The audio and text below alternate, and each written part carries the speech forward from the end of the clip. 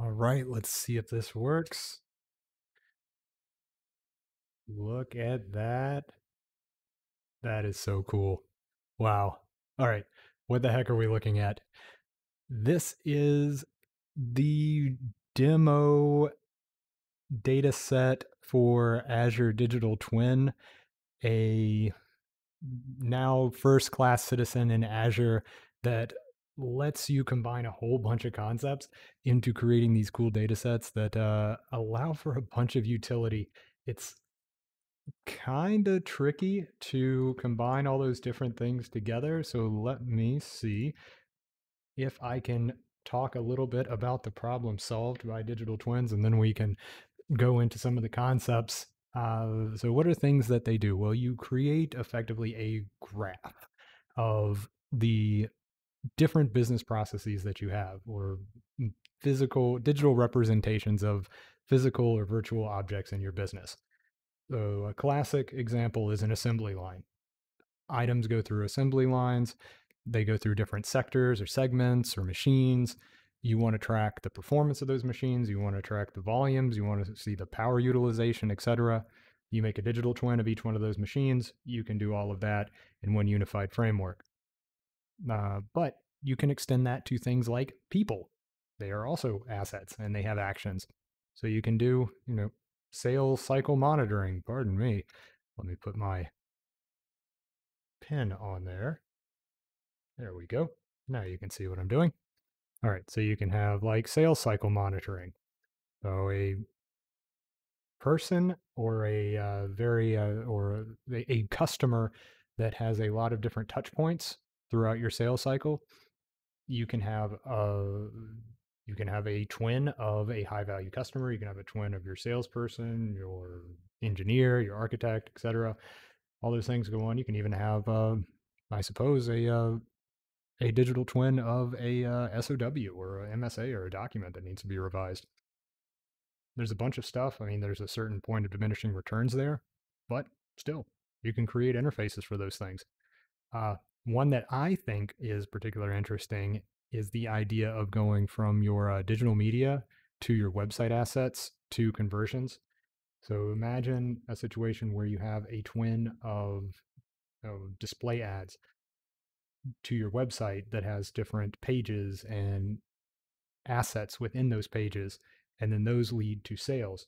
You can create a relationship to, between all those things and be able to monitor performance, conversions, optimize, etc. And then, of course, the example that Azure provides where you have the uh, utility resource consumption optimization. But what do you ask? So, isn't that already kind of solved? it, it is. We can do all these things. There is nothing new under the sun with the idea of digital twins. But what it is doing is something cool where it's combining a lot of concepts that we've had difficulty putting together in the past. Uh, primarily, and this is for some of the more program oriented people, uh, it takes concepts from, I would say, domain driven design uh, slash like model view controller because a digital twin at its core is an interface. It's just an interface for APIs, for applications, for data to push information to an object that you would call a digital twin.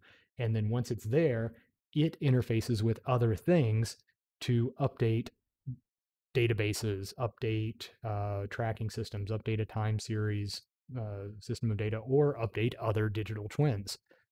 So, yes, it is at its core a framework, but it is a business process management framework.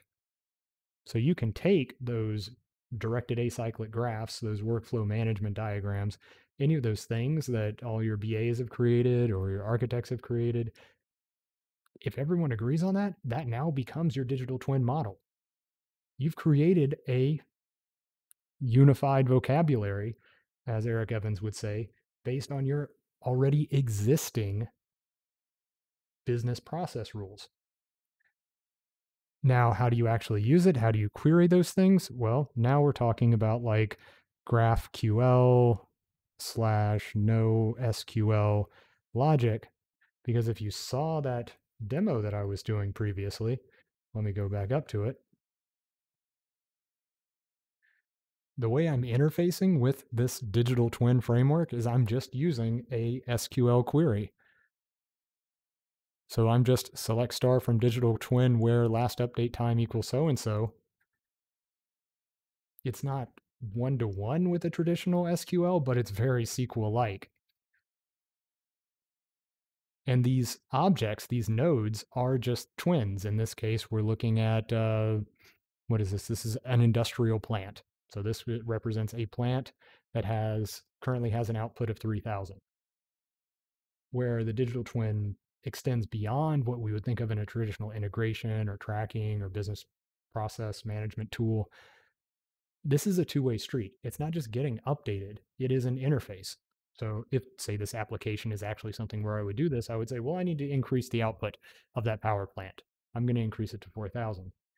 That interface would update the twin and then push that update to whatever I configured to read it, which would presumably be the power plant. And then it would flow down to all of my other digital twins that read from it. So, okay, I updated 4000 to here. All right, so now I need to look at uh, you know the uh, the the area that is consuming these things. Are they using that power? Are they consuming them appropriately? Et cetera, et cetera. And then I would probably be able to bump it back down if I didn't need it. These are the types of things that you can do with digital twin. There's a lot of stuff. There's a lot of opportunity. Uh, in my mind, I feel like it's going to be a great way to back channel governance and master objects and you know change management rules. There's there's a lot of places we can go with this. I'm excited to see what happens. Uh, I don't know if this is another flash in the pan thing, but it'll be uh it'll be cool to see. Uh, I, I will also say this this little demo was a bear to set up. If anybody else wants to try it out, feel free to uh, ping me in the comments, and I will uh, give you any pointers. All right. Otherwise, let me know if you have any questions. Look forward to talking to you guys.